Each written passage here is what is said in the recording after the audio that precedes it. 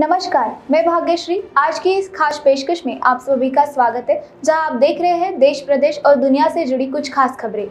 शिवसेना प्रमुख उद्धव ठाकरे की सियासी मुश्किलें कम होने का नाम नहीं ले रही है। शिंदे की बगावत के बाद अब उन्हें चचेरे भाई राज ठाकरे भी टेंशन बढ़ा रहे तो शिंदे गुट ने पार्टी की नई राष्ट्रीय कार्यकारिणी का गठन किया है। खास बात है कि इसमें उद्धव ठाकरे को ही अध्यक्ष बनाया गया है। वही केंद्रीय मंत्री नितिन गडकरी किसानों को उठ खड़े होने की सीख देते हुए विनोदी अंदाज में कहा कि आपको भगवान का आशीर्वाद मिला है। लेकिन शादी के बाद कुछ नहीं करेंगे तो बच्चे कैसे होंगे? तो उधर मुंबई में एक बच्ची ने सीएम एकनाथ शिंदे से पूछा कि क्या बाढ़ पीढ़ियों की मदद करने के लिए वह भी सीएम बन सकती है?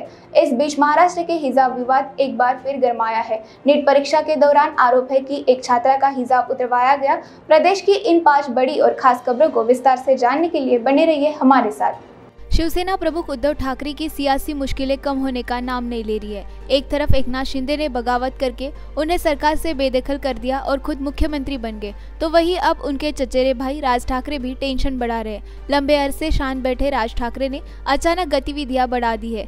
बीएमसी चुनाव में उनकी पार्टी महाराष्ट्र नवनिर्माण सेना एक बड़े प्लेयर के रूप में दिख सकती है। राज ठाकरे की पैर की सर्जरी पिछले दिनों हुई थी और तब से वह आराम कर रहे थे। लंबे अरसे बाद वह फिर से एक्टिव हुए हैं। जिसे देवेंद्र फडणवीस से उनकी मुलाकात से भी जोड़ा जा रहा है। बीते सप्ताह देवेंद्र फडणवीस राज ठाकरे के घर शिवतीर्थ पहुँचे थे और उनसे मुलाकात की थी। माना जा रहा है कि देवेंद्र फडणवीस से उनकी बीएमसी चुनाव को लेकर बात हुई थी। राज ठाकरे अब मुंबई में मंड से पदाधिकारियों और कार्यकर्ताओं की विधानसभा क्षेत्रवार बैठक करने जा रहे हैं। बताया जा रहा है कि यह मुंबई नगर निगम के आगामी चुनाव की तैयारी है, इसलिए इन बैठकों में संबंधित क्षेत्रों के पार्षद पद के इच्छुक उम्मीदवार भी शामिल होंगे। इस बैठक में राज ठाकरे मुंबई नगर निगम चुनाव की रणनीति तय करेंगे। एक नाथ शिंदे की बगावत ने शिवसेना को पहले से कमज़ोर किया है। यह स्थिति महाराष्ट्र नवनिर्माण सेना के लिए राजनीतिक तौर पर सुनहरा मौका हो सकती है। विधायकों, सांसदों, पार्षदों और पदाधिकारियों के बंटवारे से आगामी नगर निकाय चुनाव में शिवसेना की ताकत कमज़ोर हुई है। महाराष्ट्र के मुख्यमंत्री एकनाथ शिंदे गुट ने पार्टी की नई राष्ट्रीय कार्यकारिणी का गठन किया है। खास बात है कि इसमें उद्धव ठाकरे को भी अध्यक्ष बनाया गया जबकि शिंदे ने नया प्रमुख नेता का पद संभाला। इसके अलावा भी राष्ट्रीय कार्यकारिणी में जून में पार्टी की बगावत करने वाले कई विधायक शामिल है। खबर है कि शिंदे गुट आज चुनाव आयोग का भी रुख कर सकते हैं। रिपोर्ट्स के मुताबिक शिंदे गुट के एक नेता ने आज चुनाव आयोग जाने की बात कही है। उन्होंने कहा की समूह नई राष्ट्रीय कार्यकारिणी की तरफ़ से पारित प्रस्ताव को लेकर आयोग से मिल सकता है, जिसमें कहा गया है कि बागी गुट की असली शिवसेना है। बागी विधायकों वाली राष्ट्रीय कार्यकारिणी की कल दोपहर में दक्षिण मुंबई के होटल में बैठक हुई थी। कथित तौर पर नई कार्यकारिणी में दीपक केसरकर को प्रवक्ता, पूर्व मंत्री रामदास कदम, पूर्व सांसद आनंद राव अत्सुल को नेता और पूर्व बीएमसी पार्षद यशवंत जाधव, पूर्व मंत्रियों गुलाबराव पट और उदय सामंत और शरद बोक्शे विधायक तानाजी सावंत, विजय नहाटा पूर्व सांसद शिवाजीराव अधलराव पाटिल को उपनेता के तौर पर नियुक्त किया गया है। वहीं पार्टी के राज्यसभा सांसद संजय राउत ने दावा किया है कि शिंदे की तरफ़ से गठित राष्ट्रीय कार्यकारिणी की कोई कानून वैधता नहीं है। यह बाला साहेब ठाकरे की शिवसेना है और पार्टी अध्यक्ष ठाकरे हैं।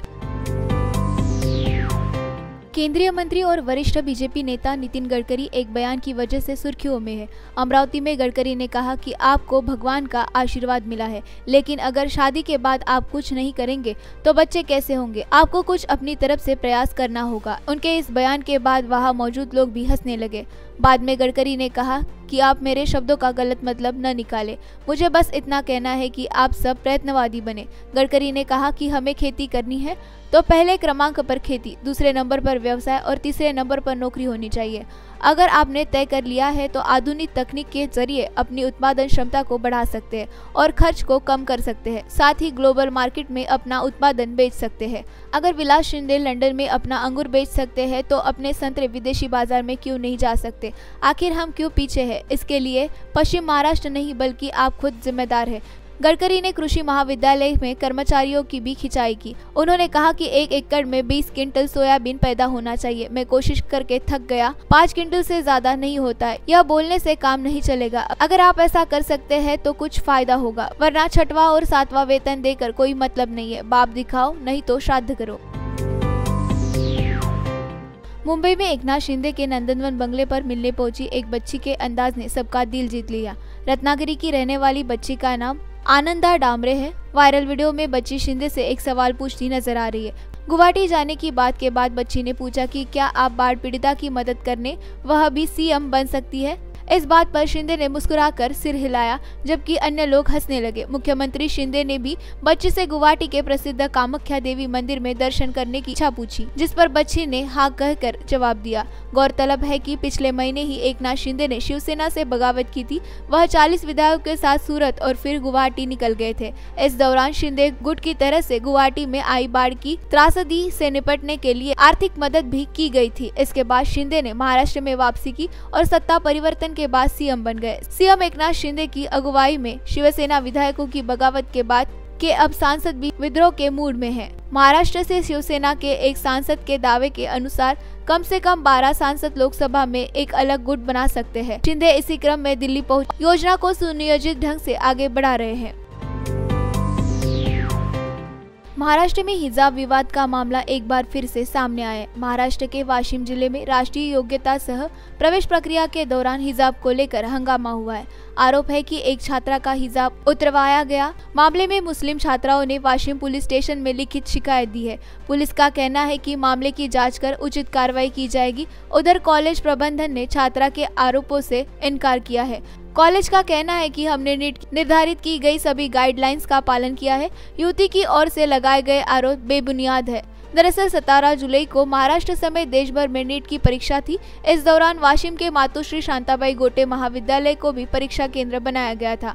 आरोप है कि परीक्षा के दौरान एक मुस्लिम छात्रा को चेहरा और हॉल टिकट दिखाने के बावजूद बुरका उतारने पर मजबूर किया गया।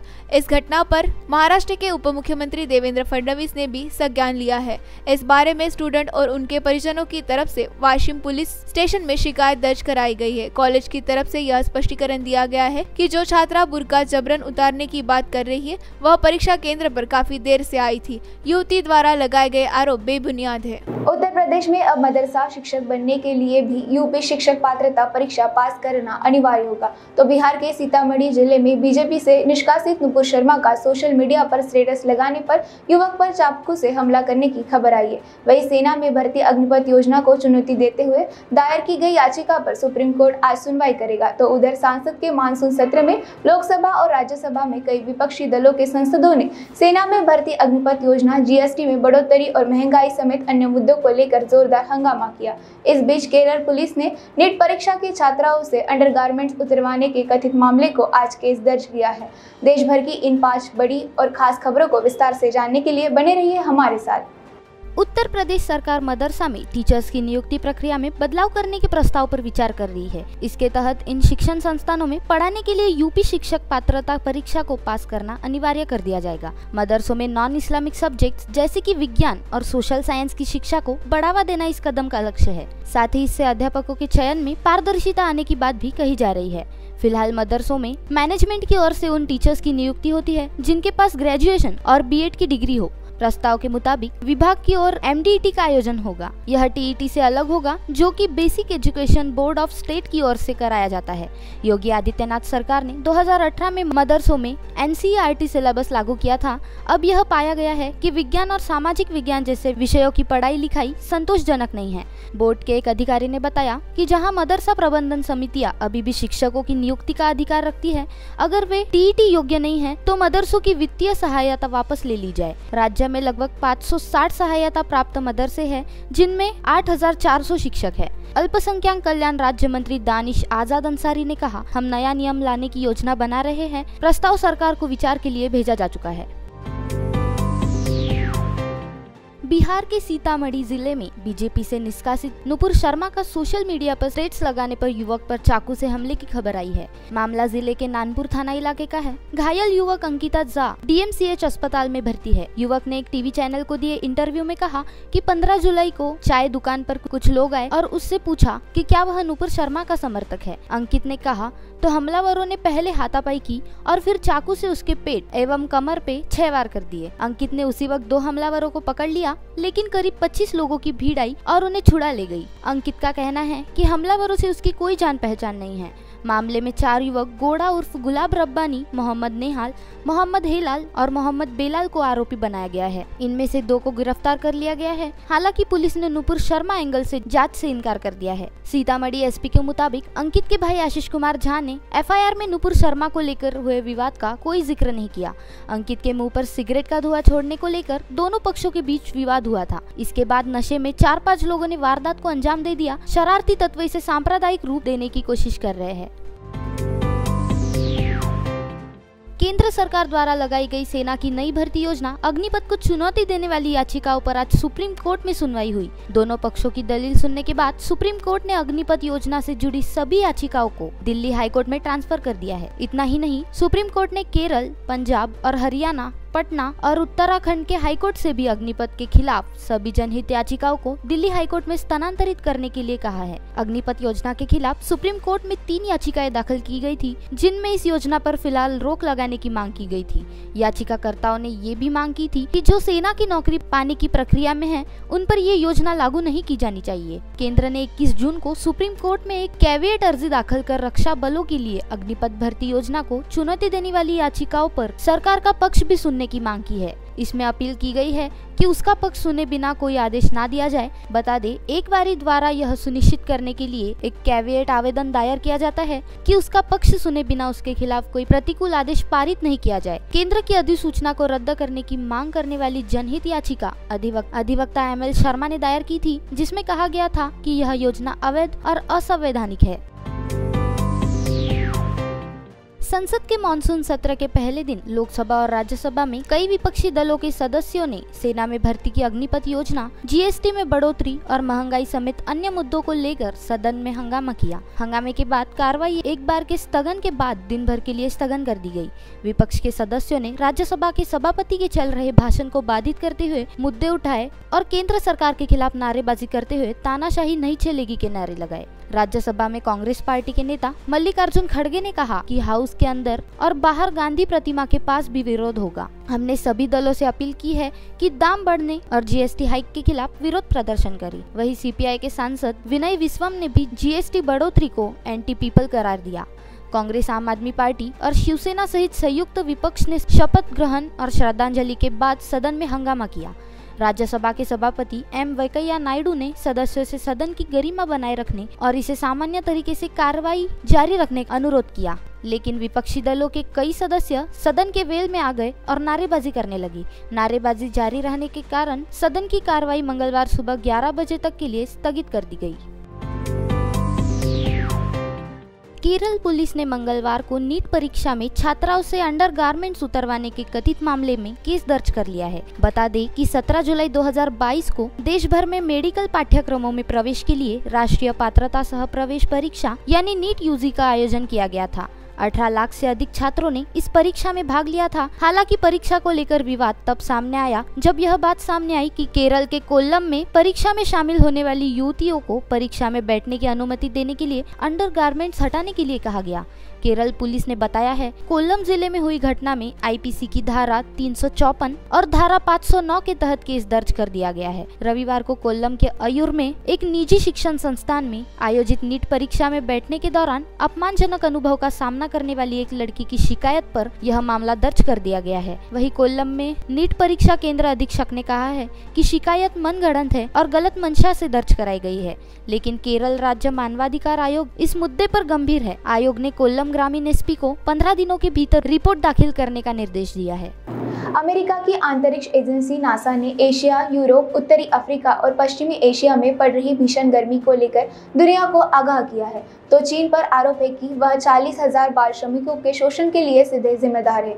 वहीं पाकिस्तान के पूर्व प्रधानमंत्री नवाज़ शरीफ का मानना है कि अंतर्राष्ट्रीय मुद्रा कोष से समझौता करने के लिए सरकार ने जो मुश्किल फैसले किए हैं, उसी के कारण सत्तारूढ़ पाकिस्तान मुस्लिम लीग नवाज़ अर्थात पीएमएमएल पंजाब विधानसभा उपचुनाव में हारी है।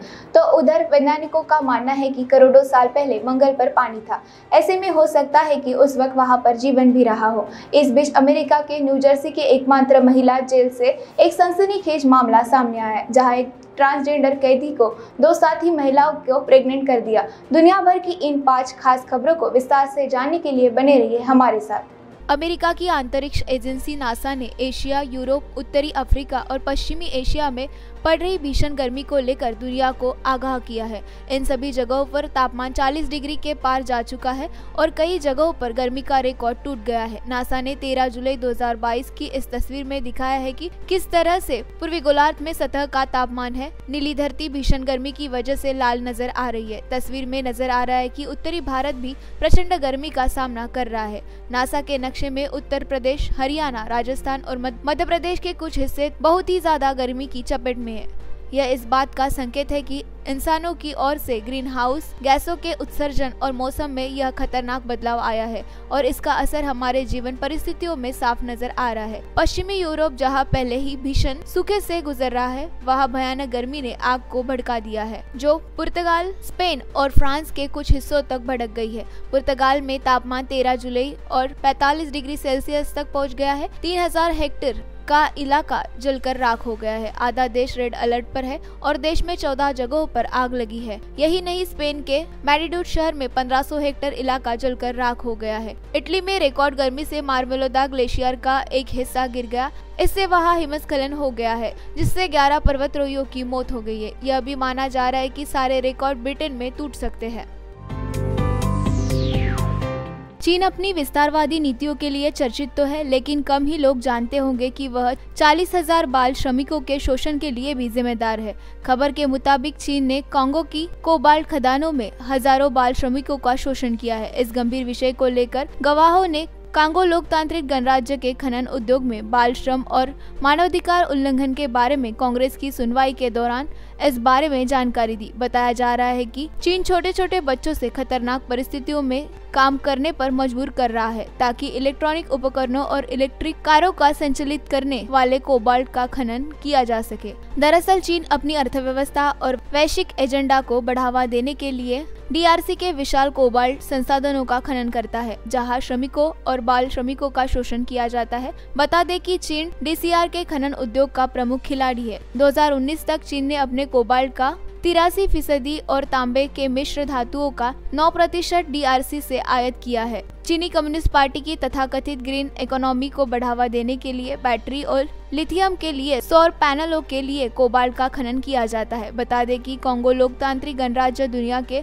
70 प्रतिशत से अधिक कोबाल्ट का उत्पादन करता है, जिसमें 15 से 30 प्रतिशत का उत्पादन खानों में किया जाता है। पाकिस्तान के पूर्व प्रधानमंत्री नवाज़ शरीफ का मानना है कि अंतर्राष्ट्रीय मुद्रा कोष से समझौता करने के लिए सरकार ने जो मुश्किल फैसले किए हैं, उसी के कारण सत्तारूढ़ पाकिस्तान मुस्लिम लीग नवाज़, अर्थात पीएमएलएन पंजाब विधानसभा उपचुनाव में हारी है। नवाज़ शरीफ का इशारा है, तेल के दामों में भारी वृद्धि की ओर था। बता दें कि पूर्व प्रधानमंत्री इमरान खान की पाकिस्तान तहरीक ए इंसाफ ने पंजाब के असेंबली उपचुनाव में वर्तमान प्रधानमंत्री शहबाज शरीफ को करारा झटका देते हुए बुरी तरह हराया है। पंजाब की 20 में से 18 सीटों पर इमरान पार्टी ने चुनाव जीत लिए हैं। इससे पहले साल 2018 में पाकिस्तान में आम चुनाव हुए थे। इस चुनाव में भी इमरान खान की पार्टी को इतनी सीटें हासिल नहीं हुई थी, जितनी इस बार पीटीआई ने वहाँ जीत दर्ज की है। चुनाव के ये नतीजे शहबाज के बेटे मुख्यमंत्री हमजा शहबाज के लिए खतरे की घंटी है। वह पंजाब प्रांत के सीएम का अपना पद खो सकते हैं। सुप्रीम कोर्ट के आदेश पर मुख्यमंत्री पद के लिए यहाँ 22 जुलाई को चुनाव होना है। पीटीआई, पीएमएलक्यू के संयुक्त उम्मीदवार चौधरी परवेज इलाही के नए मुख्यमंत्री बनने की संभावना जताई जा रही है। तीन बार प्रधानमंत्री रह चुके शरीफ फ़िलहाल लंदन में है। रिपोर्ट के मुताबिक उन्होंने अपने छोटे भाई एवं प्रधानमंत्री शहबाज शरीफ और मुख्यमंत्री हमजा शरीफ से बात की और उनसे पार्टी की एक आपात बैठक बुलाने को कहा। सौरमंडल के दो ग्रह पृथ्वी और मंगल में काफ़ी समानता है। वैज्ञानिकों का मानना है कि करोड़ों साल पहले मंगल पर पानी था। ऐसे में हो सकता है कि उस वक्त वहाँ पर जीवन भी रहा हो।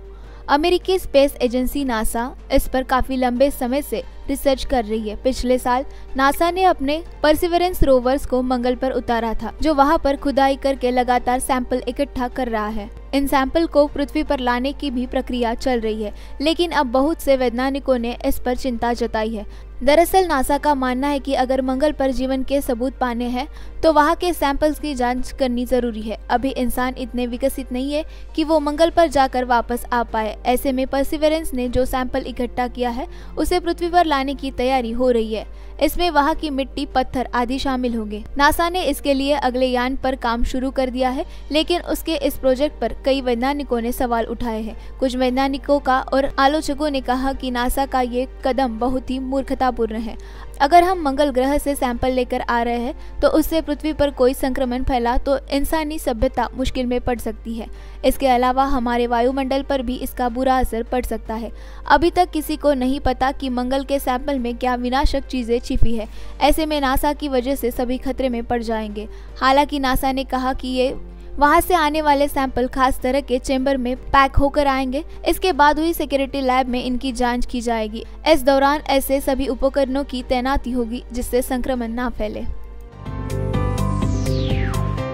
अमेरिका के न्यूजर्सी के एकमात्र महिला जेल से एक सनसनीखेज मामला सामने आया है, जहाँ एक ट्रांसजेंडर कैदी ने दो साथी महिला कैदियों को प्रेग्नेंट कर दिया। जेल प्रशासक ने ट्रांसजेंडर कैदी को दूसरे जेल में ट्रांसफ़र कर दिया है, जहाँ उसे एक कमज़ोर सेल में रखा गया है। आरोपी कैदी का नाम डेमी माइनर है, जिसने अपने गोद लेने वाले पिता की हत्या कर दी थी, और उस जुर्म में वो 30 साल की सजा काट रही है। रिपोर्ट के मुताबिक पिता की हत्या करने के जुर्म में 30 साल से जेल की सजा काट रही ट्रांसजेंडर कैदी डेमी माइनर को जून में garden state youth correctional facility में ट्रांसफ़र कर दिया गया है। 27 साल की डेमी माइनर ने आरोप लगाया कि ट्रांसफ़र के दौरान जेल के गार्डों ने उसके साथ गलत हरकतें की और उसे टॉर्चर किया।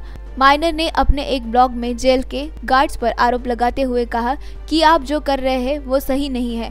यहाँ कोई कैमरा नहीं लगा हुआ है।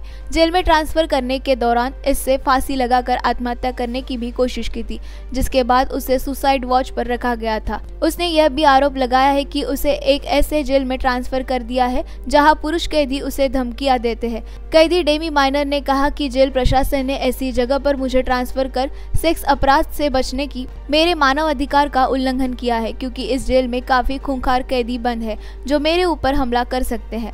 आज की इस खास पेशकश में बस इतना ही। कल फिर मिलेंगे। तब तक के लिए देखते रहिए वीकेबी न्यूज़ नमस्कार।